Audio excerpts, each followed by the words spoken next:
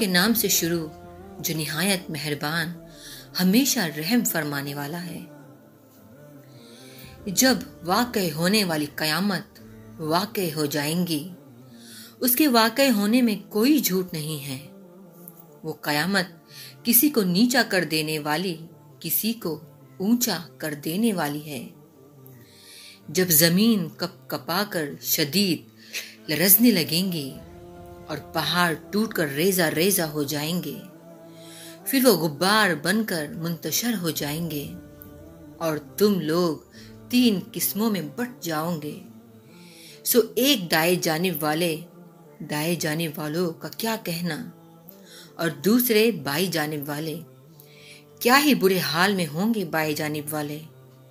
और तीसरे सबकत ले जाने वाले, ये पेश कदमी करने वाले हैं। यही लोग अल्लाह के मुकर्रब होंगे। नमतों के बागात में रहेंगे। इन मुकर्रबैन में बड़ा गिरोह अगले लोगों में से होगा और पिछले लोगों में से उनमें थोड़े होंगे। ये मुकर्रबैन जर निगार तख्तों पर होगे। उन पर तकिए लगाए आमने सामने बैठे होगे। हमेशा एक ही हाल में रहने वाले नौजवान, खिदमतगार उनके इर्द गिर्द घूमते होंगे। कोजे, आफताबे और चश्मों से बहती हुई शफाफ शराब के जाम लेकर हाजिर खिदमत रहेंगे। उन्हें न तो उसके पीने से दर्द सर की शिकायत होगी और न ही अकल में फितूर आएगी।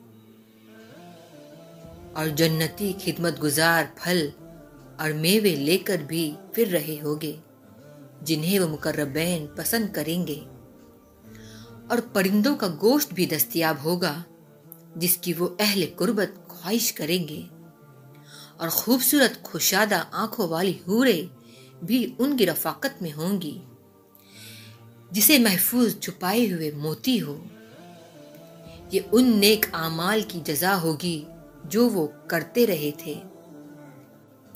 वो इसमें से ना कोई बेहूदगी सुनेंगे और न कोई गुनाह की बात।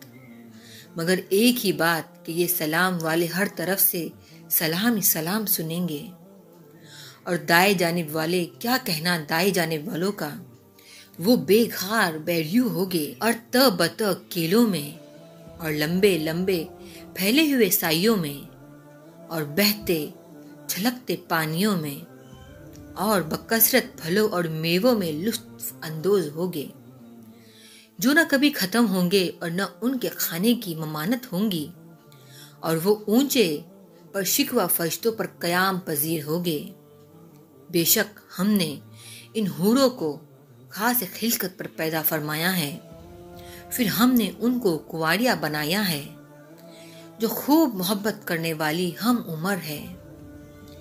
ये हूरे और दिगेर नमतें दाए जानब वालों के लिए है।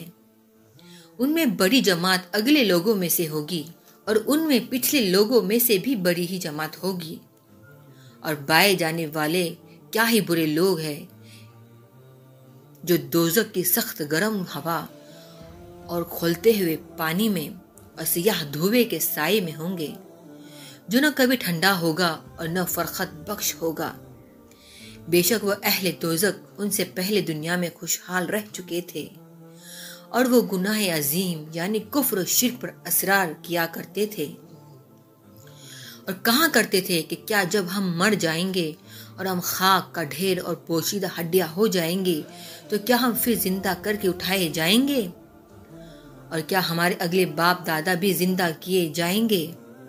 आप फरमा दे, बेशक अगले और पिछले सब के सब एक मुन दिन के मुकर्रा वक्त पर जमा किए जाएँगे।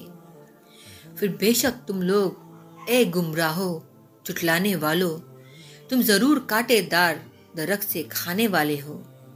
सो उससे अपने पेट भरने वाले हो जाओ। फिर उस पर सख्त खोलता पानी वाले हो।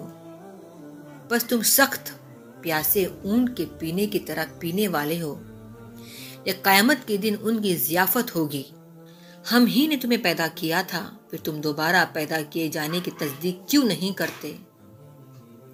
भला ये बताओ जो नुतफा तुम टिपकाते हो तो क्या उससे इंसान को तुम पैदा करते हो या हम पैदा फरमाने वाले हैं? हम ही ने तुम्हारे दरमियान मौत को मुकर्र फरमाया है, और हम उसके बाद फिर ज़िंदा करने से भी आजिज नहीं हैं। इस बात से भी आजिज नहीं है कि तुम्हारे जैसे औरों को बदल कर बना दे और तुम्हें ऐसी सूरत में पैदा कर दे जिसे तुम जानते भी ना हो। और बेशक तुमने पहली पैदाइश की हकीकत मालूम कर ली, फिर तुम नसीहत कबूल क्यों नहीं करते?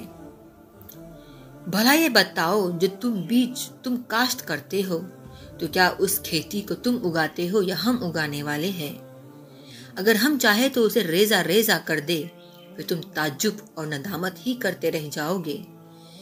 हम पर तावान पड़ गया, बल्कि हम बेनसीब हो गए।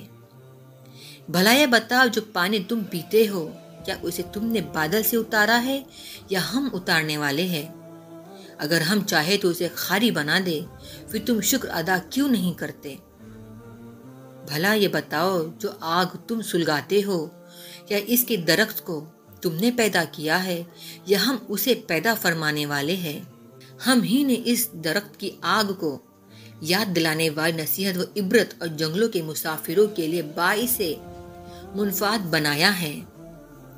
सो अपने रब अजीम के नाम की तस्बी किया करो। बस मैं उन जगहों की कसम खाता हूँ, जहाँ जहाँ कुरान के मुख्तलिफ़ हिस्से रसूल अरबी सल्लल्लाहु अलैहि वसल्लम पर उतरते हैं। और अगर तुम समझो तो बेशक ये बहुत बड़ी कसम है। बेशक ये बड़ी अजमत वाला कुरान है।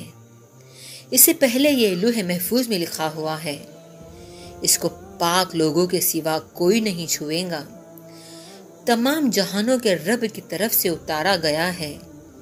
सो, क्या तुम इसी कलाम की तहकीर करते हो? और तुमने अपना रिजक और नसीब उसी बात को बना रखा है कि तुम उसे झुठलाते रहो। फिर क्यों नहीं रूह को वापस लौटा लेते, जब वो परवास करने के लिए हलक तक आ पहुँचती है? और तुम उस वक्त देखते ही रह जाते हो। और हम उस मरने वाले से तुम्हारी नस्बत ज़्यादा करीब होते हैं लेकिन तुम हमें देखते नहीं हो। फिर क्यों नहीं ऐसा कर सकते, अगर तुम किसी के मुल्क के इख्तियार में नहीं हो? कि उस रूह को वापस फेर लो, अगर तुम सच्चे हो। फिर अगर वो वफात पाने वाला मुकर्रबैन में से था तो उसके लिए सरवर फरहत और रूहानी रिजक वो इस तराहत और नामतों भरी जन्नत है। और अगर वो असहाबुल यमीन में से था तो उससे कहा जाएगा, तुम्हारे लिए दाए जाने वालों की तरफ़ से सलाम है। और अगर वो मरने वाला झुटलाने वाले गुमराहों में से था तो उसकी सख्त खोलते हुए पानी से जियाफत होगी और उसका अंजाम दोजक में कर दिया जाएगा। बेशक यही कतई तौर पर हक्कुल यकीन है।